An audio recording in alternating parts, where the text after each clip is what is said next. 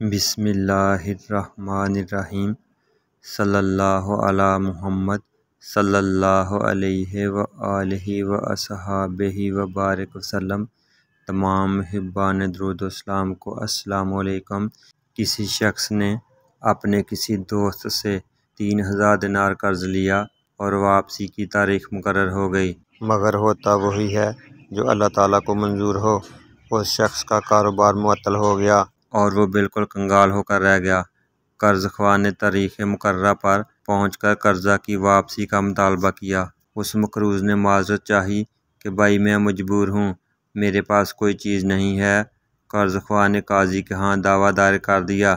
काजी साहब ने उस मकरूज़ को तलब किया और समात के बाद उस मकरूज़ को एक माह की मोहलत दी और फरमाया कि, इस कर्जा की वापसी का इंतज़ाम करो। मकरूज़ अदालत से बाहर आया और सोचने लगा कि क्या करूँ।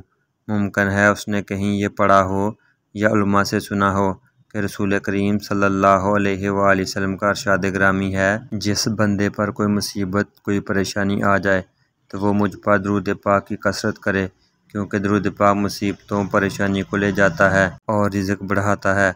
अलहासल उसने आजजी के साथ मस्जिद के गोशे में बैठकर दरूद शरीफ पढ़ना शुरू कर दिया।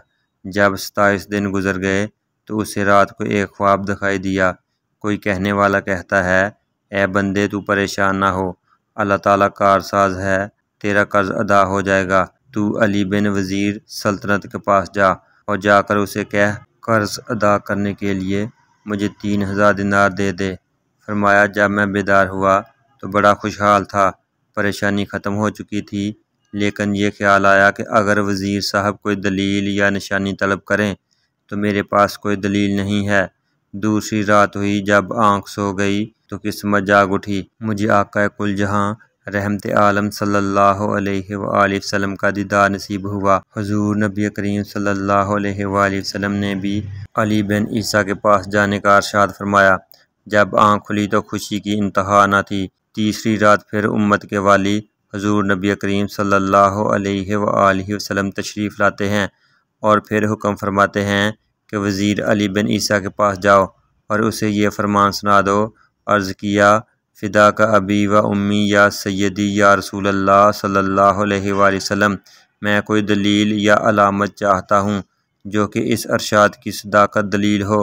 ये सुनकर नबी करीम सल्लल्लाहु अलैहि वसल्लम ने मेरी अर्ज़ की तहसीन फरमाई और फरमाया कि अगर वज़ीर तुझसे कोई अलामत दरियाफ़्त करे तो कह देना उसकी सच्चाई की लामत यह है कि आप नमाज़ फजर के बाद किसी के साथ कलाम करने से पहले पाँच हज़ार दरुद पाक का तोहफ़ा दरबार रसालत सल्लल्लाहु अलैहि वसल्लम में पेश करते हो, जिसे अल्लाह ताला और करामन कातबीन के सिवा कोई नहीं जानता। ये फरमाकर सैद कुल आलम सल्लल्लाहु अलैहि वसल्लम तशरीफ़ ले गए। मैं बेदार हुआ, नमाज़ फजर के बाद मस्जिद से बाहर कदम रखा और आज महीना पूरा हो चुका था। मैं वज़ीर साहब की रहाइश गाह पर पहुँचा और वज़ीर साहब से सारा किस्सा कह सुनाया। जब वज़ीर साहब ने कोई दलील तलब की और मैंने हजूर महबूब किबरिया सल्लल्लाहु अलैहि वसल्लम का अर्शाद सुनाया तो वज़ीर साहब खुशी और मसरत से चमक उठे और फरमाया, मरहबा, ये सैदी या रसूल हक्कन। और फिर वज़ीर साहब अंदर गए और नौ हज़ार दिनार लेकर आ गए। उनमें से तीन हज़ार गिन कर मेरी जोली में डाल दिए।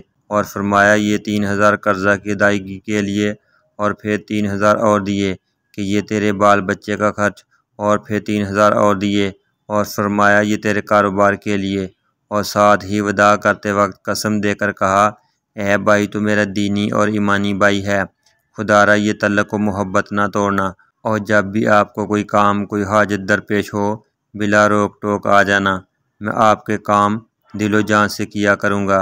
फरमाया कि मैं वो रकम लेकर सीधा काजी साहब की अदालत में पहुँच गया और जब फरीकैन को बुलावा हुआ तो मैं काजी साहब के यहाँ पहुँचा और देखा कि कर्ज ख्वा सामने खड़ा है। मैंने तीन हज़ार गिनकर काजी साहब के सामने रख दिए। अब काजी साहब ने सवाल कर दिया कि बता तू इतनी दौलत कहाँ से ले आया है? हालाँकि तू मुफलस और कंगाल था। मैंने सारा वाक़ बयान कर दिया।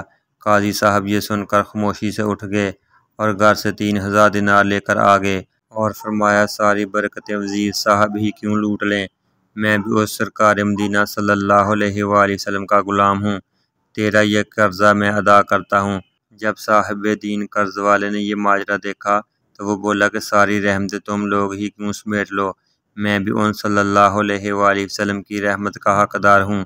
ये कहकर उसने तहरीर कर दिया कि मैं इसका कर्जा अल्लाह ताला और रसूल सल्लल्लाहु अलैहि वसल्लम के लिए माफ़ कर दिया। और फिर मकरूज़ ने काजी साहब से कहा, आपका शुक्रिया, लीजिए, अपनी रकम संभाल लीजिए। तो काजी साहब ने फरमाया, अल्लाह ताला और उसके प्यारे रसूल सल्लल्लाहु अलैहि वसल्लम की मोहब्बत में जो दिनार लाया हूँ, वो वापस लेने को हरगज़ तैयार नहीं हूँ। ये आपके हैं, आप ले जाएँ। तो मैं बारह हज़ार दिनार लेकर घर आ गया। और कर्जा भी माफ़ हो गया। ये बरकत सारी की सारी दरूद पाकी है सुबहान अल्लाह हवाला जज्बुल कलूब, सफ़ा दो सौ तिरसठ हवाला आब कौसर।